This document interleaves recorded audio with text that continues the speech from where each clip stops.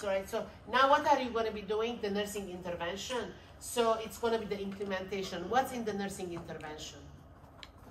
What are you giving to the patient? Medication. Medication. What kind of medication you're going to give? First of all, you're going to give antibiotics, and the doctor has ordered it. And then what else you give? Antipyretics. Antipyretics. All right. So antipyretics because the patient is like you know the body is like fatigued, they're tired. All right. So then the antipyretics you're going to be giving. And then what are you going to give? Also nutritious food, right? So and then so that they can eat. So those are the nursing uh, interventions. And setting priorities. What does that mean? Is that the planning? Say it again. Is that the planning? Is your priority? Very good. It's it's the planning. So the setting of the priorities. If you have multiple nursing diagnoses, which one is the most priority to be taken care of? Is this clear? Okay, very good. Okay. Now, the other thing is the pulse. So what is the pulse? What does it indicate? Heart rate. The heart rate. So what does that mean? So like how many times the heart is pumping? Is this clear? All right, so that's the heart rate. Okay, now, so what is the normal heart rate? 60 to 100. 60 to 100 is normal. All right, so for the heart rate to happen, okay, so um,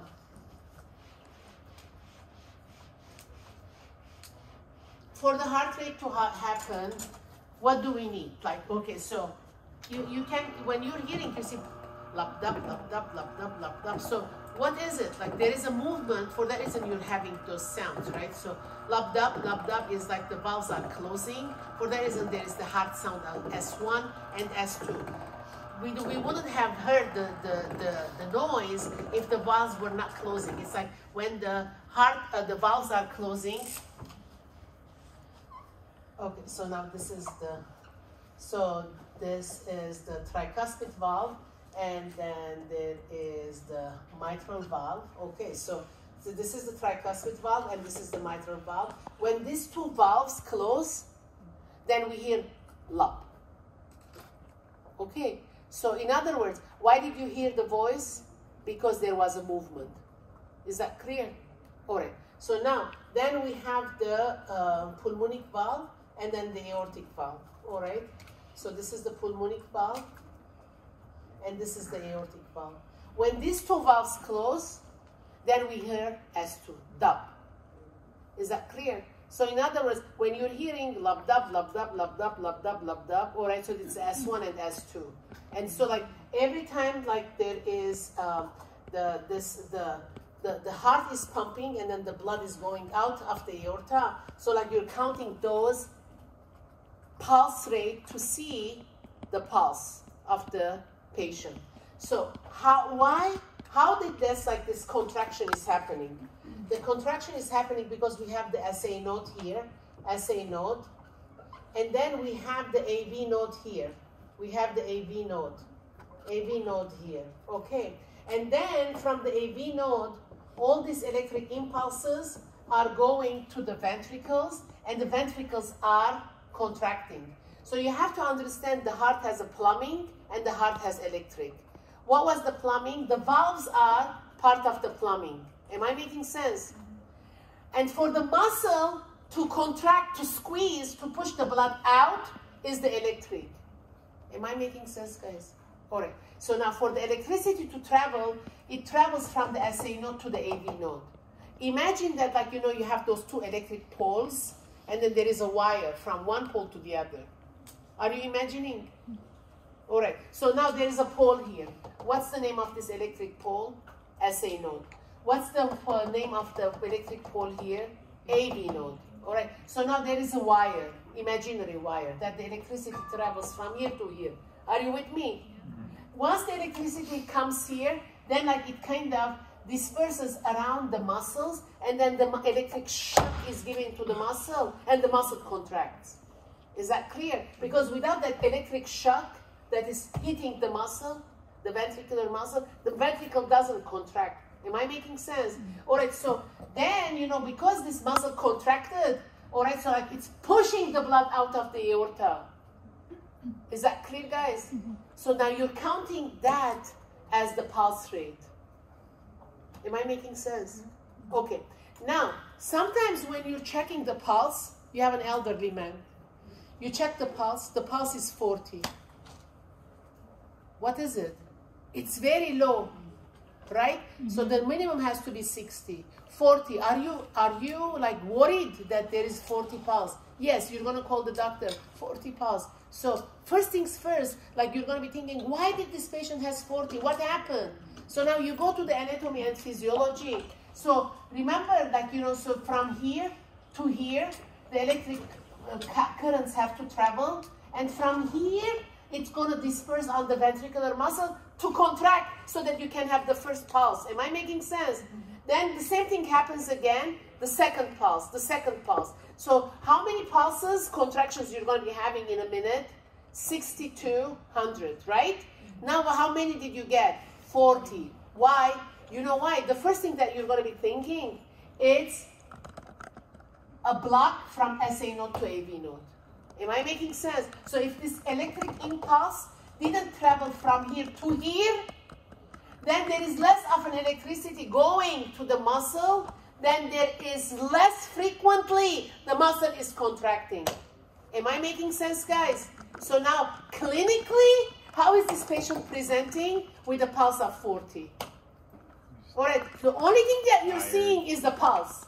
Are you seeing this? No, but that you kind of deriving that out of 40 pulse because this thing is happening inside.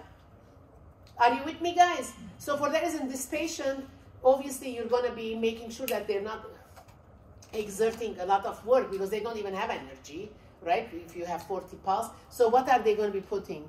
They're going to be putting a pacemaker. Is this clear? So this patient is going to be getting an artificial SA node that it's going to be making the electric impulses travel on a set time, on a set time. Am I making sense, guys? So that patient is going to be having a pacemaker. So did you see like why the pulse is important now? Okay, so this is one example only, right? Okay. Yes. No, that was my question about the pacemaker. Yeah, this is the pacemaker. All right. So then, yes. Is, is AFib also corrected with a pacemaker? No, it, uh, yeah, oh, it, it, yes, it could be. You know why?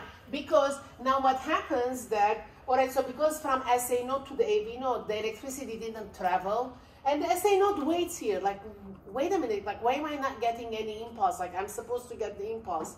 So the AV node, like, you know, it, it says, you know, if, if I'm not going to get the impulse, I'm going to create an impulse. Does that make sense? So it starts creating im- im- impulses haphazardly. So what is that? Supraventricular tachycardia. Now this patient has 100, 101, 102 blood, uh, pulse. Like, wh- where did this come from?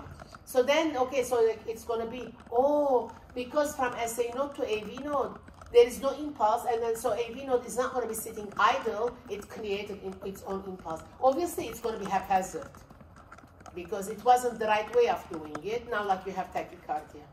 All right. So then, like that can be corrected with pacemaker or medication, obviously. Or medication. Do you see now? So do you see like the importance of the pulse? Okay. So all right, very good. So this is also one uh, uh, one one example that I gave. And then so when we're checking the pulse, so where what are we doing? We're touching. So can you get the? You know, I mean, obviously you can check the pulse with uh, with your stethoscope, but most of the time, like we're doing it with with our hand. All right. So or it can be done with the stethoscope. Is that clear? So when you touch the patient to get the pulse, what are you doing? Palpating. Every time you touch a patient, what are you doing? You're palpating. Does that make sense? Touch is palpation. All right, so now when you're palpating for the pulse, so what are you feeling? You feel the rate, the rhythm, and the strength. All right, uh, and the strength. What is the strength? You know, like how do we, uh, how do we assess it? Plus one, plus two, plus three, plus four on a standard basis, what should it be? It should be plus two.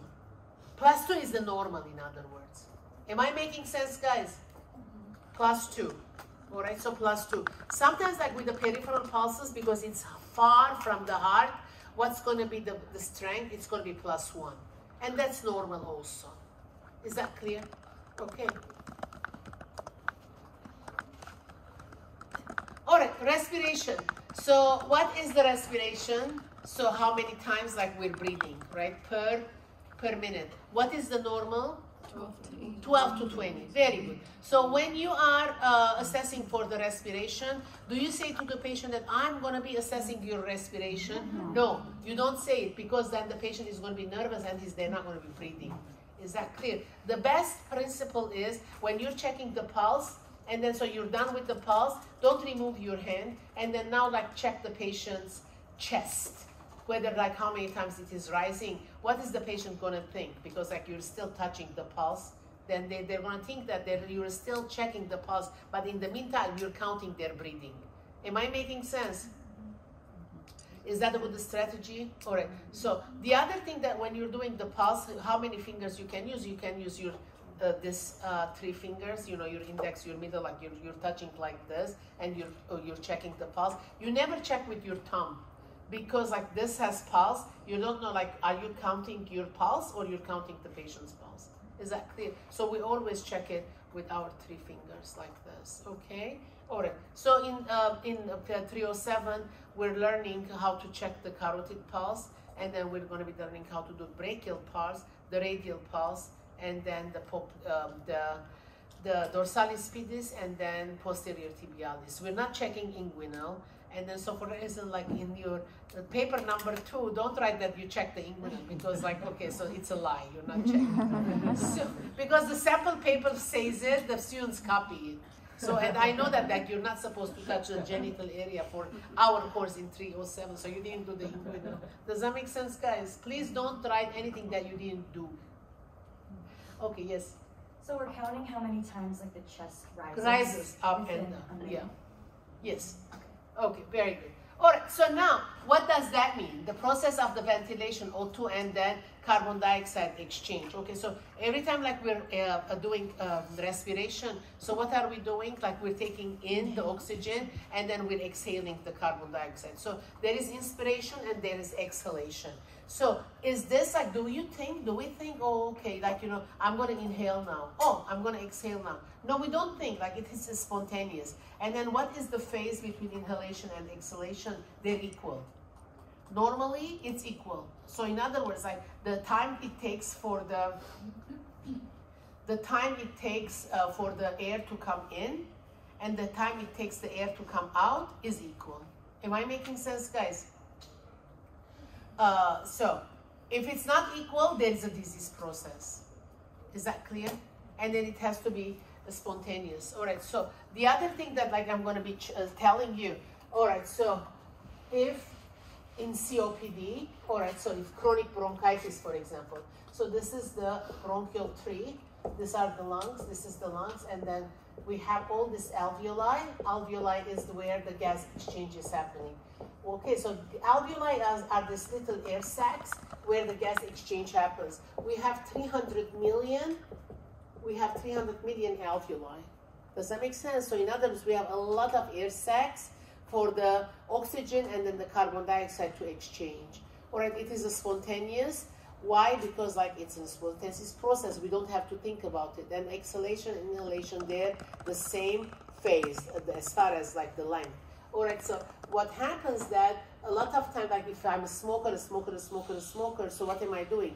The irritant, it's an irritant. The smoke is irritant. So if it like that irritant comes and scratches, scratches here, scratches here, right? It's scratching because it's an irritant. What is the body going to do? It's going to be producing the sputum because what is the body saying? Okay, like if I produce this secretion, the sputum, and if this patient coughs and then expectorates, what's going to happen to the irritant? Irritant is going to be flushed out. Oh.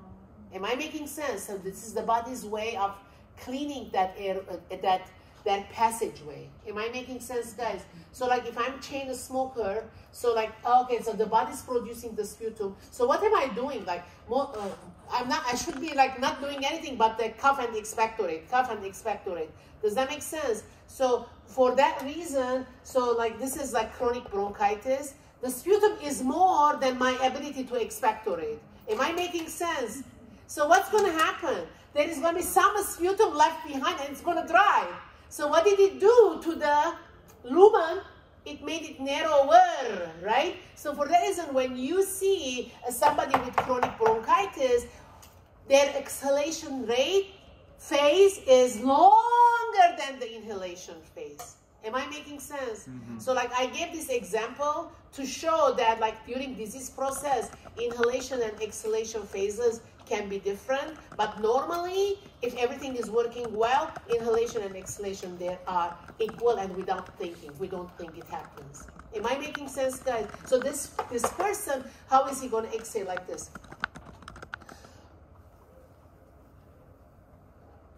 with a pursed lip so that like he can push that energy to exhale that carbon dioxide out. Why? Because the luminaries have like with a lot of remnants of the sputum. Okay, did I make sense? Okay, guys, so if the exhalation and inhalation are not equal, what does that imply? Disease process. Is that clear? Okay, very good. Okay, so what is our O2 sat? How much oxygen is in our Yeah, how much oxygen we have saturation? Sure, what should it be? 95 95 okay so so it's going to be high 90s right? So all right so like anything like uh, uh, if there is also, also disease process it's going to go low low low right? So okay lower. So medicare like you know if you're going to be having oxygen in the house like i have i was a case manager you know like uh, for with all chronic uh, diseases. So you are qualified for oxygen if your o2 sat drops into 88 percent all right? So otherwise you're not qualified for uh, home oxygen because it is going to be paid by medicare right? Okay so so for medicare to pay it it's 88 percent. Okay so um yeah. Nowadays like the nurses they we're always doing the O2 sat because that little uh, gadget is so practical. All right so okay very good. Okay so the next thing is the blood pressure. So what is the blood pressure? It is going to show systolic and diastolic. What is systolic? What is diastolic Systolic is the peak of the heart rate and the diastolic is the low. Relaxation. okay all right what is it Sys- yeah good Systolic is the, the maximum amount of pressure when the heart contracts, and then the diastolic pressure is what's the pressure left in the system um, after the blood has gone. Yeah, very. good. I mean, so in simple English, the systolic is like when there is stress, how hard the heart is working, and diastolic is when the heart is at at rest. All right. So now, like, where are you? Like, okay, you're resting. So, like, in other words, the systolic, and then so what's the normal? 120 over 80, right? So, okay, so the systolic is like the there there is no resistance. The diastolic is when the heart is at rest. All right, so at rest. Diastolic is at rest. Systolic is like against resistance or against activity. So, all right, so what should be the normal? 120 over 80. 120 over 80. Is that clear? So if we have like 120 over 90, so what does that mean? The heart at rest is working as if the heart is running. Am I making sense? So that's not good. So the heart has to have a phase for activity, a phase for rest. Is that clear? So 120 is a good thing, like when you're like in an activity, 120, okay, it's it's like good. And then when you're not working, so you should be like 80. But like when you're 100, when you're not working, so what happen, What happens? Like the heart is even at rest, working against resistance. There is no rest, in other words. Even the rest period is work for the heart. Is that clear? So this can lead into stroke, for example. That's not safe. Am I making sense? Okay, so, okay. All right, so uh, cardiac output factors affecting the blood pressure is the cardiac output, peripheral resistance, blood volume, blood viscosity, arterial elasticity. Okay, so let's let's let's talk about the cardiac output. What is the cardiac output? So, like you know, this is the this is the heart. All right, so we said this is uh, the these are the chambers here. So this is the tricuspid. This is the mitral, and then we have the pulmonic valve here and then the aortic valve here. All right, so this is the left ventricle. All right, so now this is like the aorta like goes like this and then down, down. All right, so the heart it's coming out and it's that the aorta is going down and then um, uh, two two fingers about the umbilicus. This is the umbilicus. Two fingers about the umbilicus. Aorta bifurcates and goes to the legs. All right. So like now we have these are going to the legs. All right. So this is the the aorta is coming out of the aortic valve here and then going down. All right. So now it is what is the cardiac output? The amount of the blood that is coming out of the left ventricle. That's the cardiac output. All right. So what is the cardiac output? Cardiac output is equal to heart rate at times the stroke volume. Is this clear? All right, so the cardiac output is the heart rate times the stroke volume. All right, so it depends like how many times the heart is pumping. So it will determine how much blood is going to be going out into peripheral perfusion. Remember that old man that had the heart rate of 40? So how is his cardiac output? Is very low, right? Why? Because there is little, if the heart rate is low, the cardiac output is going to be low. Do you see? If the heart rate is up, the cardiac output is going to be up. When you're running, what happens to your heart rate? It goes up. So what happens to your cardiac output? It goes up. Why do you need more cardiac output? Because you're putting more stress on the muscles, right? So the muscles are running, the toes are running, even the toes are asking for more blood because they're running, they're moving. Do, you, do you agree? So now if they need more blood, so what is the heart going to do? The heart to start pumping faster so that more blood can be going out of the heart, pumping out of the heart to go to peripheral circulation.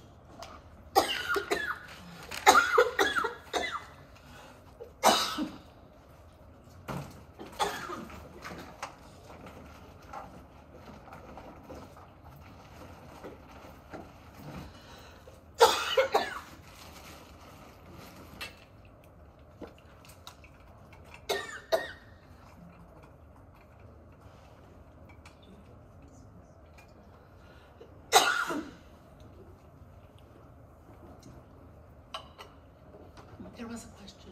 Me. What was the SV again? Say it again. Stroke volume. Stroke volume. Stroke volume. Okay. Thank you. What do you know about the stroke volume? About the athletes?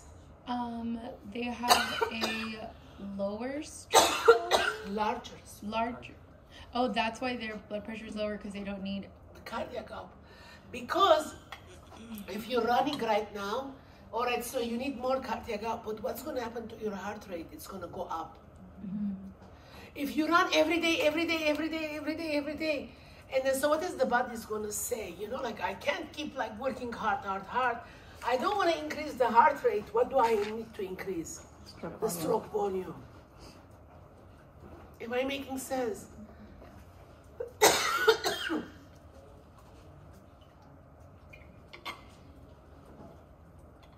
Sorry about this, guys. I think something irritated me. Okay. So now, um, so if if if you're running, so you need more cardiac output, right? If you need more cardiac output, how is the body co- need that cardiac output? By increasing the heart rate. by increasing the heart rate. But if you're an athlete, every day, every day, every day, you're going to be running. Your heart rate, your heart rate, your heart rate. What is the body going to say? You know, like the heart rate, if it's going more than 100, it there is in the, the potential for going into arrhythmias. Mm-hmm.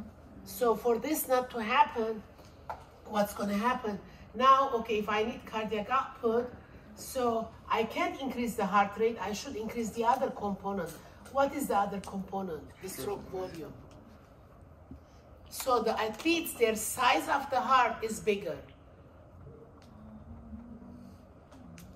But you look like on X-ray because the X-ray shows the landmarks, the echo shows the size of the heart. But this heart is not a sick heart. In heart failure, the heart is big, but it's a sick heart. Am I making sense? Mm-hmm. So there is a difference. So the stroke volume of an athlete is bigger, like the heart size is bigger. It's more than a fist, but it's not it's not diseased.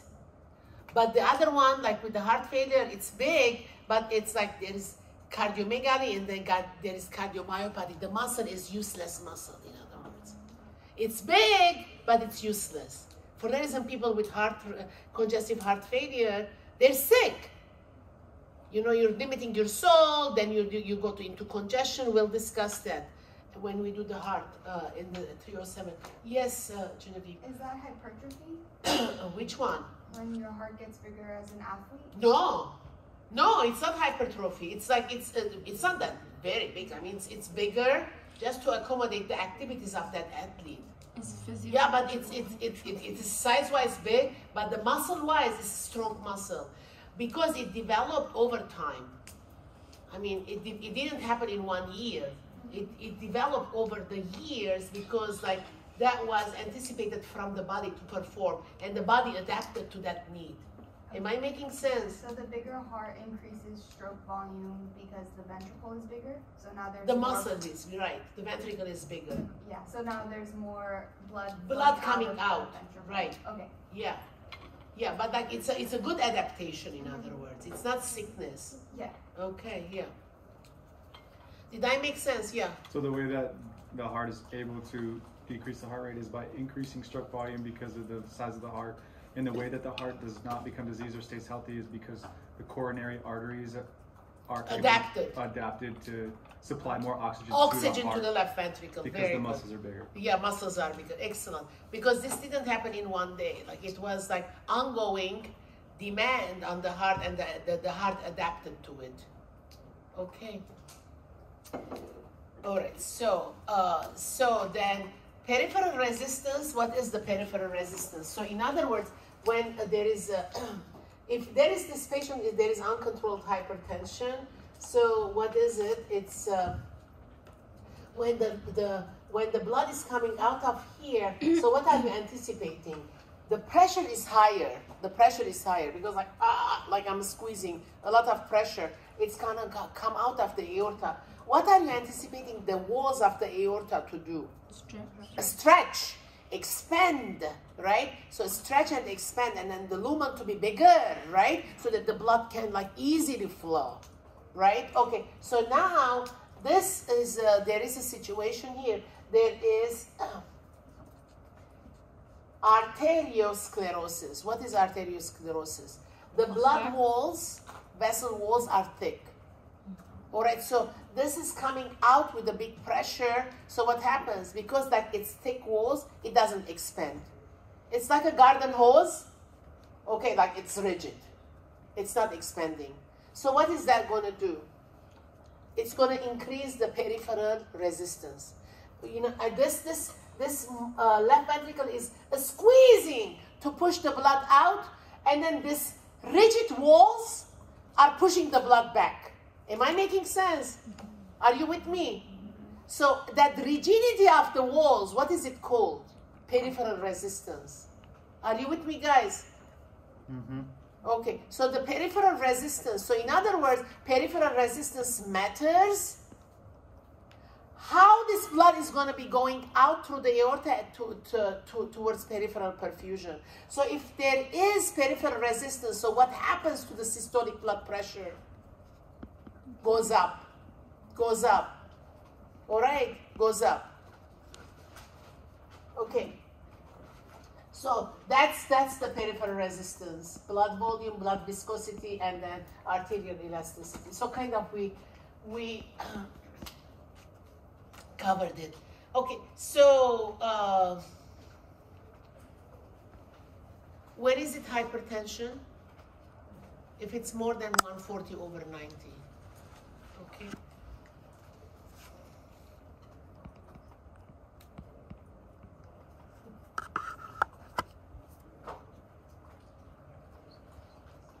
Okay, all right, now go- this is the heart failure. Let me explain this. Let me explain this. Okay, guys.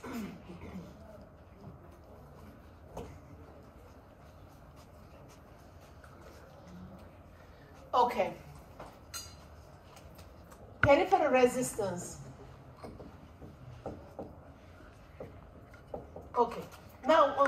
Okay. Now, I gave you one example about peripheral resistance. What was the reason of the peripheral resistance in the example that I gave you? Arteriosclerosis. Arteriosclerosis, very good. So what is arteriosclerosis? Thickening of the artery wall. Yeah, rigidity. Rigid. Rigidity of the arterial, uh, the, the vessel. Or the, so that increases the peripheral resistance. What else? Can like the Vasoconstriction. What else? Like from the outside, The viscosity. viscosity. Yeah, yeah. Who has viscous blood? People like London. Uncontrolled diabetics, viscous blood. Yeah. Uncontrolled diabetes, how is their blood? It's viscous. Is that thick? It's thick. It's thick because a lot have blood sugars. So somebody with uncontrolled diabetes, their blood is thicker. Okay, thicker. You know why it's thicker? Okay, let's look this. This is like the this is the test tube, right? This is test tube. This is test tube. Now you put the blood here. This is the blood. All right. So now this is a patient with uncontrolled diabetes. We got the blood. Are you with me? We mm-hmm. put this in the centrifuge, right? Mm-hmm. In the lab, and then it's turning, right? So what happens? It's going to divide the cells from the water. All right. So now we're going to have this. Okay. This is the test tube. All right. Here, 10%. This is going to be the cells. 90%. It's going to be the water. What is water called? plasma. plasma. Are you with me, guys? Mm-hmm. All right. Now, this is a patient with diabetes uncontrolled. Okay, we collected the blood, put it in the centrifuge. Now we got this. This is the cell. What is the cell? White blood cells, red blood cells, everything is here. This is the water. So this water is not like uh, clear. I mean, it's a little bit yellow. yellowish, you know. Okay, so this is the plasma. All right. So now, if it's if you take this plasma, I mean, if you taste it, obvi- obviously we're not tasting it, it's going to be very sugary. Does that make sense? So in other words, there is a lot of sugar here, and then this is thick plasma. Am I making sense? I mean, I explain this all the time to the patient. Oh, I'm taking aspirin. Aspirin is working here on the cells. Aspirin cannot do anything to the plasma. Am I making sense? So the viscosity of uncontrolled patients with diabetes, their plasma is full of sugar, and this is a thick, thick honey. Imagine that it's a clear honey. Honey is like darker, but this is like a whiter, creamier. Does that make sense? So this is like a very thick, like when you take it, it's it's it's like a honey. Am I making sense? So this is viscosity. Are you with me, guys? Mm-hmm. Yeah.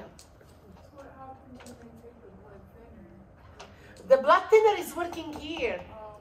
The blood thinner, it's working on the cells, not on the plasma. Are you with me, guys? So don't confuse it. This is every time I teach a diabetes class, the patients, oh, I'm taking blood thinner. Blood thinner, nothing to do with the plasma and the sugar in the plasma. Are you with me, guys? Blood thinner works on the cells. Aspirin, where does it work? It doesn't let the platelets to aggregate. What is a platelet? It's a cell. It's working here on the cell, nothing to do here. The Coumadin, where does it work? You know, on the factors. Factors are like part of the cells. Am I making sense, guys? So nothing to do here. Explain this to patients like they don't understand because they say, "Oh, I'm on a blood thinner. Why is my blood is viscous? Because the sugar is mixed with the plasma." Okay. So insulin will work on the plasma. insulin insulin will yes will help the sugar from the plasma to be used by the cells for energy yes mm-hmm. yeah good Thank you. okay So, can you explain hemocrit a little bit? hematocrit Yeah. So when we have an increase in so hemocrit's the percentage of red blood cells in the plasma. yes So if we have high hemocrit, the blood is thicker. no nothing to do with the thicker that's hypovolemia hypervolemia Volume, high volume. The, the, you, you're right. You, you have between, like, you know, the hematocrit and the hemo, hematocrit is the ratio between the cell and the plasma, but nothing to do the plasma being sugary or not sugary. If somebody's, if, if uh, there is a pregnant woman, like, you know, like, if like, uh, so this is going to be 70% plasma, 30% cell. That's the normal. All right. So when this girl becomes pregnant, so what happens with pregnancy? There is more water. There is more water. So in other words, the cells are the same. Nothing changed with the cells. All right. So what happens to the hematocrit? Now you have less of a cell because you have more of a volume. Am I making sense? But the girl didn't change. She didn't lose any blood or anything. All she did, because of the pregnancy, she gained water. So the, the cell ratio before pregnancy, after pregnancy changes. Why? Because the cells were this much in this much of water. Now the same amount of cell is this much water. So that cell, it becomes insignificant in a bucket. But the same cell was in the bottle. The girl didn't change. All the pregnancy, what did it do? It gained more water. Now, instead of having like one bottle of water, you're having one bucket of water. So you're going to be comparing the ratio between the same amount of cell to this amount of cell. Am I making sense? So the hematocrit changes because of hypervolemia. So just blood volume, basically. The blood volume became bigger. The plasma amount became bigger, so the cell amount became insignificant. That's how the hematocrit changed. It's like a proportion. Proportion changed. But the girl didn't lose any blood. It's like a normal physiology. She gained water because she's carrying a fetus. Am I making sense, guys? Mm-hmm. Yeah. So when we are dehydrated, our blood is more viscous? That, that effect, dehydration affects the hematocrit. You have less water, more cell this time. Okay, so the hematocrit changes. So hematocrit determines either you are hypovolemic or hypervolemic. Is this pregnancy is hypervolemia. Dehydration is hypovolemia. The hematocrit changes because the cell is floating in a different amount of volume. But the cell is not changed. You're the same woman. the, am I making sense? Yeah. Okay. So for labs, um, for a person that's dehydrated, their hematocrit will be low. Yeah. Okay. Okay, guys. So, but in the diabetes, the viscosity, the plasma is having a lot of sugar. Nothing to do with the volume of the plasma. The, the volume is there, but like it's thick with sugar. Okay, guys, are you understanding? These are difficult concepts, but like, are you at least like uh, getting it? Yeah, I think when you read it, it's going to be more easy to understand because like I kind of gave you some foundation. Okay, guys. Okay, let me explain how many slides are left. Okay. Two. Two more left? Mm-hmm. That's it? Oh, okay. All right, so like I can explain it then. Okay, so uh, the, the, the, Mm-hmm. let me explain the, the stroke volume, the stroke volume of an athlete, and then the stroke volume of a patient who has congestive heart failure. Is that clear, guys? Okay, now, all this, whatever it's written here, I'm going to be explaining it in, in a simpler way. Okay, so now, uh, let's say, and then also body weight adds to peripheral resistance also. All right, so the obesity, like you know, like if, uh, obesity or like for the reason when you uh, when you have a patient with high blood pressure, what are you saying? Exercise, weight loss, low low salt, right? So this is a classic uh, in, instructions that we say, right? Okay. All right. So now, so let's say the peripheral resistance, it can be thickening of the walls of the vessels. It can be weight. Okay, so uh, okay, so weight adds to uh, weight adds to uh, peripheral resistance, and then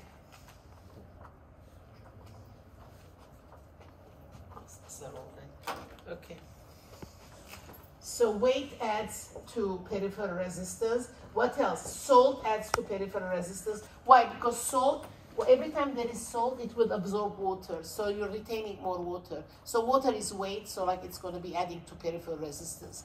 Am I making sense? So these are all factors that affect the peripheral resistance. Okay, now look at this. So now this ventricle is squeezing and it's going to be pushing the blood out, right? So normally what are we anticipating for the aortic walls to do? Expand, stretch. We, we said it. Why? Because the blood that is coming out of the left ventricle, it's coming with a big pressure. So what do, what do you anticipate the vessels to do? Expand, and then so like, okay, I'm expanding, come flow within me, right? So that there is no blood pressure.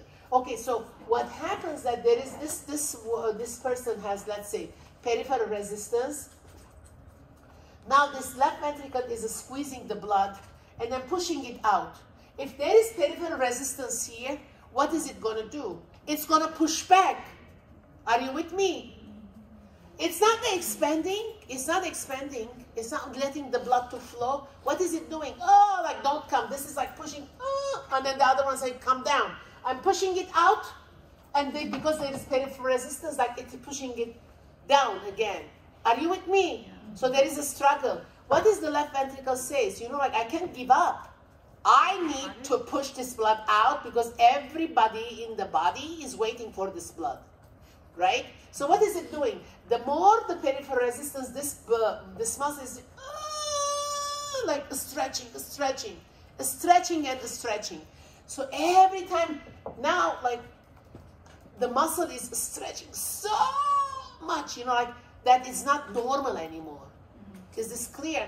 So now with the the muscle is stretching, neurohormonal changes are happening. Neurohormonal changes. All right, so the BNP and ANP are being released. released. All right, so what is it? Uh, this is natriuretic peptides. Okay, BNP and ANP. I don't know, I mean, it's, it's a long word. Okay, so BNP and ANP. So these these are very much specific to the left ventricle. Other renin is also renin is also aldosterone is also released. Renin and aldosterone are released because the left ventricle is under so much stress. What does that this mean? The left ventricle is saying that oh like all my energy, let me push, let me push. And then there is peripheral resistance. So now like at the time this left ventricle is under stress and then I'm pushing it up. Okay, so all this,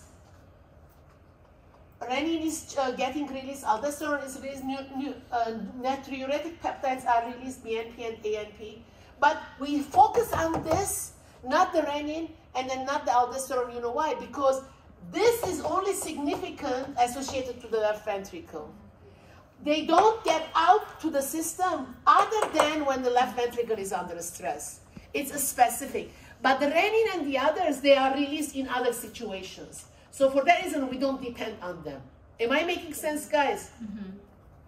So this ANP and then B- ANP and then BNP, when they're released, so the body gets a message. What's the message? Left ventricle is under a stretch, under a stress and stretching to its fullest. Is that clear? So now neurohormonal changes are happening. So what is the body thinking? This left ventricle is under stress. So what is the solution? The solution is the brain is going to say, all right, so if I add more muscle here, the more the muscle, the more the force I will have. Are you with me? Mm-hmm. Okay. So, I mean, the best the best correction is take your blood pressure medication, right? But people do not take their blood pressure medication, right? So, okay, so if you didn't take your blood pressure medication and then the peripheral resistance existed, so now this left ventricle is under a lot of stress, like it's stretching to push this blood out, but I can't. So what am I going to do? I need more muscle. If I have more muscle, I can carry more weight. Are you with me? So because of the BNP and ANP, neurohormonal changes happen and more muscle starts adding on the left ventricle. Are you with me? This doesn't happen in one day, guys. Right? It's happening over time. Yeah. So what does BNP and ANP I stand and for? Google it. I don't know. Like it's a long word. It's We the just have brain know that that Yeah. is on the left. peptide. Yeah, something. other Yeah, ones that you because when you go, when the patients come with the difficulty of breathing and then they're not diagnosed, they check the BNP and the ANP levels. If they're elevated, like more than one, it should be less than 100. Anything more than 100 is abnormal. Is that clear, guys? So we shouldn't be having ANP and BNP going in our system because the, the, the left ventricle is working fine. It should be less than 100. Anything more, it's already like the left ventricle is stretching. Are you with me, guys? Yeah. Um, so if you have the peripheral resistance and the left ventricle closes, but it's being put, the blood is being pushed back, um, why would taking blood pressure medication help? It will, it, the blood pressure medication reduces the peripheral resistance. Uh, Yeah, blood pressure medication reduces the peripheral resistance. Definitely. Yeah, yes. What is this condition or disease called? What is it? What is this disease called? Like where the left ventricle? Eh, it's heart failure. Yeah, heart failure. We're gonna have a heart failure. So, you know, it's mainly the BNP. The ANP is still like, it's not used that much, like the BNP. So BNP should be less than 100. So if somebody comes like to the ER and then they're having uh, uh, difficulty breathing because that's how like they come to the ER, they check the BNP levels. Like it should be less than 100. If it's more, they know that like it, it, the, it is left ventricle is stretched already and then so there is a potential for the person having congestive heart failure. Is that clear? So now, so now what happens that the body is like uh, the left ventricle is having more muscle here, so like the muscle becomes big, and then the person from outside doesn't feel anything because like guess what? You know, I have peripheral resistance, but my heart is adapting to it it's making more muscle. And the more muscle, it's pushing against the resistance, and the blood is going through the aorta and then it's going to the peripheral circulation, we're good. We're good, right? And then life is going on. But like how long these neurohormonal changes are going to be adding more muscle? So what happened to the size of the heart here? It, it grew. So like when you're doing echo or chest x-ray, even chest x-ray, it shows the landmark of the heart. The chest x-ray, when you're taking a picture, so the picture of the heart is, should be this much, or the picture is this much. So it shows cardiomegaly. Does that make sense? So picture, because x-ray is a picture. So it shows a bigger picture heart, right? So that is cardiomegaly, cardiomegaly. So it's that the heart is big. But now, you know, like, okay, so this is this much heart muscle. So what happens to your stroke volume? Somebody was asking here. The stroke volume becomes big too, right? For that reason, the cardiac output equals to heart rate times stroke volume. Do you see the stroke volume became big also? But in this case, what? How did the stroke volume become big? By adding more muscle meat. This is not normal. This is not normal because this meat became added because the patient was under distress. This wasn't a normal meat added. Am I making sense now? All right, so there, there will come a time and we'll say, enough. I cannot add any more meat. That's it. All right, so what's going to happen? This muscle is going to say, you know, like I don't even have energy anymore. Like I'm not going to push. So what happens to this muscle now? Cardiomyopathy. At the beginning, it was cardiomegaly. It was like big heart. But all this muscle is added muscle because the body was under distress. Am I making sense? So it wasn't a healthy heart, in other words. So now, because that extra muscle is there, and that extra muscle is going to say, you know, I cannot, I cannot push. I don't have any energy. So now the patient has cardiomyopathy. So there is a big heart, and it's not working. Is that clear, guys? Mm-hmm. Cardio. Myopathy. Myopathy. Yeah, cardiomyopathy is like that added muscle is useless now. So now you have cardiomegaly and cardiomyopathy. So. Myo's muscle and pathy is like disease, like muscle disease on the heart. yeah, Is that right? I, yeah, I think right. Okay, Yeah. okay, guys. So now this patient is going to be having um, That's it. They're going to be having uh, congestive heart failure. Okay. okay.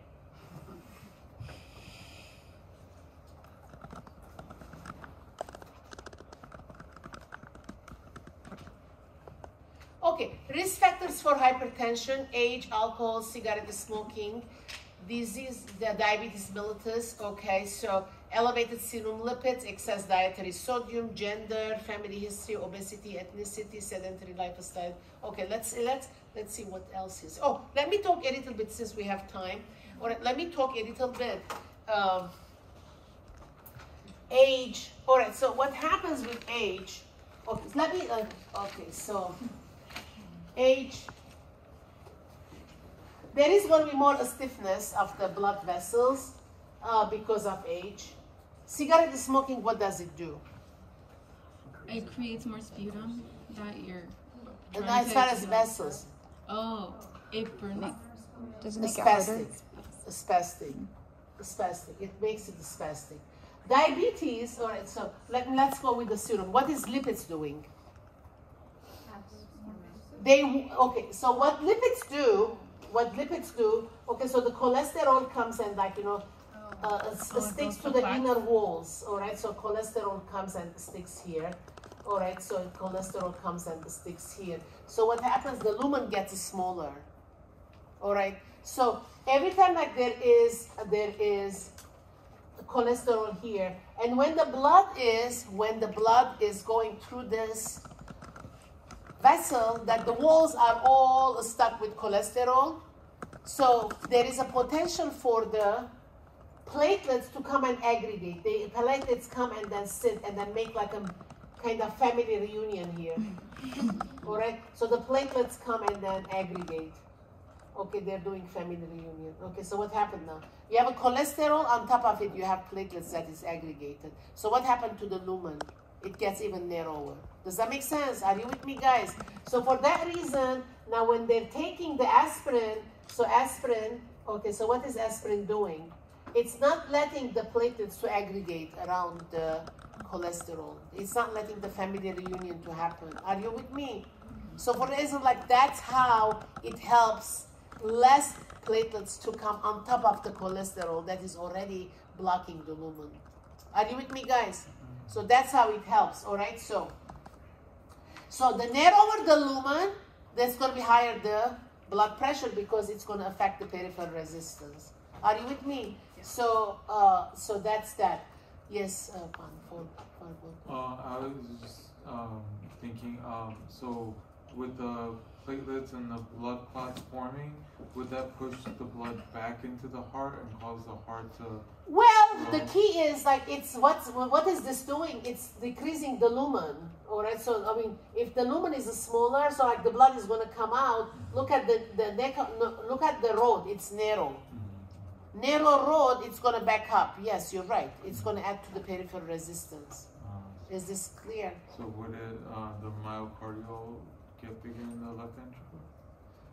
What is it? Uh, the the muscle in the left ventricle would that increase too because of? Yes, yes, yeah. This are you saying that this will lead into congestive heart failure? Yes, yes,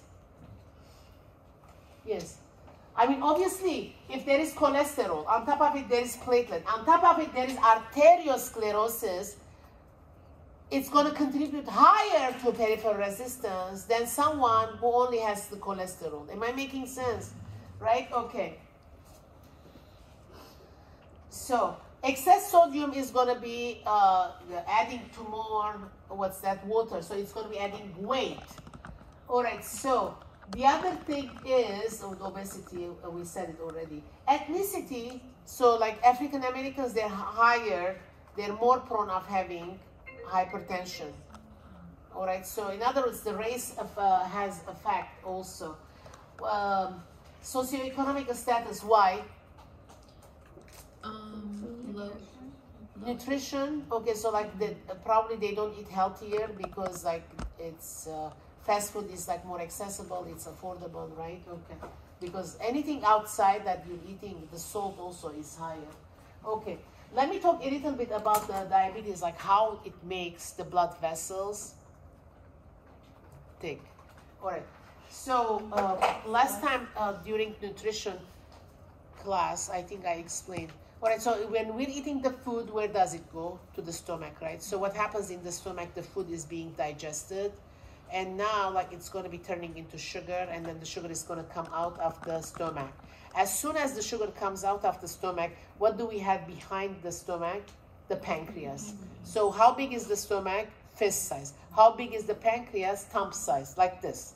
They're two organs. They're here, right? Okay. So the sugar comes out of the stomach right away. From the pancreas, uh, insulin comes out because insulin is already ready, and then it's waiting for the blood sugar to come out. The insulin comes out. That is called first phase insulin release. All right. So it comes out. Now they're together. One is the sugar, one is the insulin. I explained this last time, remember? So they go to the brain first, then they go to the muscles.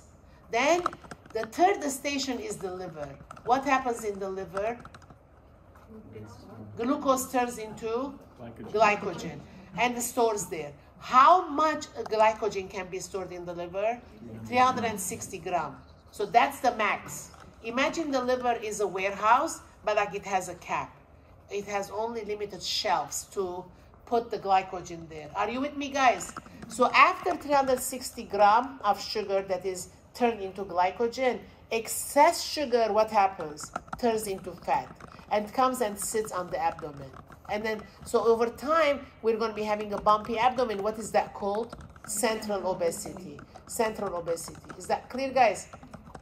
Now, every time, like, you know, so if the lifestyle continues, there is no exercise because every time we're exercising, what happens that this fat cells, they shrink.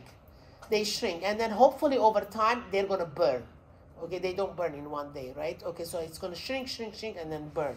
All right, so, but like if there is no exercise, there is sedentary lifestyle. So those uh, fat cells are there, they're sitting, right? So now, and then a, new fat cell comes and says, so I'm going to sit here. The old fat cells, what do they say? There is no more space. There is no more space. There is no more. I mean, it's a bumpy abdomen, it's full, it's kind of complete. There is no more space, right? So what's going to happen that one of the old fat cells, it's going to come out and say, okay, come take my seat. Are you with me, guys? All right, so that fat cell that it was old and then be was like kind to let his or her, I don't know, the fat cell is a girl. like, okay, now like this is a controversial subject. like, what am I doing here? and I'm being recorded. Okay, okay, so that's uh, nothing funny, all right. all right, now, okay, so the fat cell comes out and then says, okay, come take my space. So this, there is a new fat cell that freed itself, went to the blood. So what is the name of this fat cell that freed itself? It's very easy. Free fatty acid. So free fatty acid. So if the free fatty acid comes out, all right, and then the new fat cell comes sits here. Now where is the free fatty acid? In the blood. In the blood. Free fatty acid. Where did it come from? Abdomen. Abdomen. The central obesity, do you see why central obesity is dangerous? All right, why? Because it has a lot of fat cells. And then, so like it is being detached, and then so that it will, okay, I'm coming out, you can come take my space, right? So this, the name of this fat cell is what? Free fatty acid. Are you with me, guys? Mm-hmm. So free fatty acid, where is it? In the blood. In the blood. So what is it going to do? Yeah, but like the most accumulated is the abdomen. Yeah. Yeah, I mean, obviously. But like the, the one that is like on the abdomen is the most, because that's the first place they go. Does that make sense? Yeah. So now the free fatty acid is in the blood. Now, what are they going to do? Are they going to do something good or bad? Bad. Bad. You already know it, right? So what do they have? They have a baby. VLDL. VLDL. VLDL is very low density lipoprotein. This is the bad cholesterol and it's very much kind of condensed. All right, so now the VLDL is going to have a baby too. What's the name of the baby? Triglyceride. Now, do you see because of that bumpy abdomen, what's happening to your blood lipid levels? You're increasing your triglyceride. Do you see this? Now, when it is like the triglyceride, okay, there is too many triglyceride. What is the triglyceride going to do? I mean, obviously the nickname of the triglyceride is bad fat. So it's going to be doing something bad. How do sugar and the insulin work? Okay, the sugar is the girlfriend and then the insulin is the boyfriend. They're working together, right? So what is the insulin's role? What do the men do? Open the door for the women, right? So like the insulin opens the door, the, uh, the sugar goes into the cell, right? And now this triglyceride goes to the cells and it starts breaking the locks of the cells. Am I making sense? So insulin can't open. The, the next day, you know, sugar and insulin, they're going. You know, the insulin is going to try to open the door of the cell. It's not opening. Because the day before, the triglyceride broke it. Does that make sense? So what is this called? Insulin resistance. Do you see now how the central obesity leads into insulin resistance? Do you see the connection now? So now the central obesity leads into insulin resistance because free fatty acids are going to be generating triglycerides and triglycerides are going to breaking the lock of the door of the cells. Now your own insulin goes to open, it cannot open. Why? Because the triglyceride broke it the day before. Am I making sense, guys? So now what is this called? Insulin resistance. Now, this insulin that cannot open the door is in perplexed position. See, how can I cannot open the door? Like I can I was able to open the door. Like why can I open the door? Now where is that insulin gonna reach out? Where did the insulin came from? Pancreas. Okay, so it's gonna call cell phone. Okay, like I'm gonna call the pancreas, right? I'm at the door, I cannot open the door, right? So like it's perplexed. So who is it, who is this insulin gonna call? The pancreas. Pancreas, pancreas, what happened? I cannot open the door. And then like I have my girl with me, she cannot enter the room, right? All right, so now what happens to the postprandial blood sugar right now? It's elevated already, right? Okay, but the pancreas says, okay, calm down, I'm gonna help you.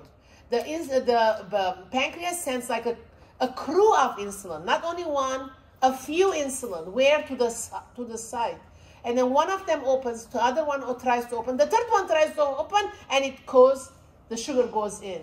The sugar goes in. All right, so when you check the blood sugar before meal, next meal, what is the blood sugar? Normal again. Does that make sense? Why the, the pancreas helped? By sending more insulin to the site. Am I making sense?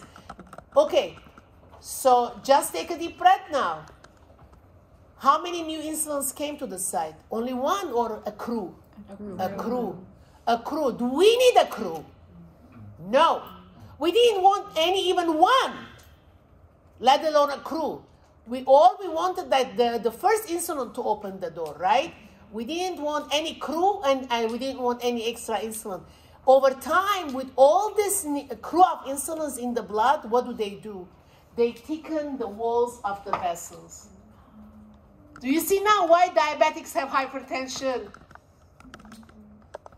Is that is, is it making sense now? Mm-hmm. So, all right, so at the time of the diagnosis, this, this process goes seven to 10 years. The body fights for 10 years to keep this euglycemia. Every time there is a call from the side to the pancreas, I can't open the door, I can't open the door, the pancreas makes new insulin, a crew goes. I can make, then the pancreas says, wait a minute, like this is seven years every time you're calling me. And I'm tired. Like, you know, I'm always working harder to send you insulin. Does that make sense? I cannot send you any more insulin. That day, the blood sugar goes up. But when did the problem started? Seven years ago. And the meantime, how much of a crew of insulin was generated? A lot. So what did these insulins do? They thickened the walls of this vessel here so what do we have here? Arteriosclerosis. Do you see? Arteriosclerosis. What is arteriosclerosis? The vessel wall is thick. Is that clear, guys? Now, but if there is a lot of fat here, like this, what is this called? Atherosclerosis. Okay, so in other words, they are it, the, in literature they are used interchangeably, but they're not the same. Arteriosclerosis is the thickening of the wall of the vessel. Insulin, too much insulin causes arteriosclerosis. Are you with me, guys? Mm-hmm. And then the fat is atherosclerosis because in Greek, ateroma means plug. So that's how I remember.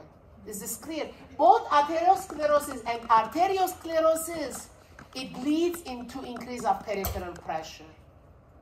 Do you see now why this patient is going to be more prone of developing heart failure?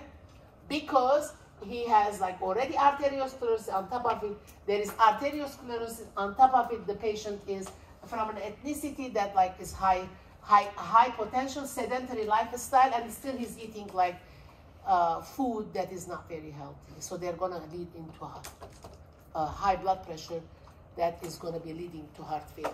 Okay, guys. And is that the reason why some people accidentally like die because of they injected the insulin incorrectly? Or th- there is no injection of No, insulin. no, no. no. You know how insulin, when you inject insulin Huh. to bring down your Huh. sugar levels, um, the reason I'm asking is because I had a friend whose father passed away by injecting too much insulin. It could because like there is hy- uh, he, he had hypoglycemia unawareness then. Because usually if it is low, then you have symptoms like you're sweating, like you know, so your heart is palpating.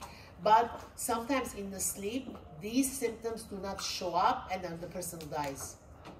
Yes, yes, yes. There, too much insulin kills. I mean, if that's the the the, the, the question, yes, because the blood uh, brain cells cannot live without sugar. Okay. Well, this was helpful. Mm-hmm. Yeah. Okay. All right. Okay, guys. Do you know like how many years I studied to come up with this? All right. Okay, guys. Yeah, but the class is dismissed. Mm-hmm. All right.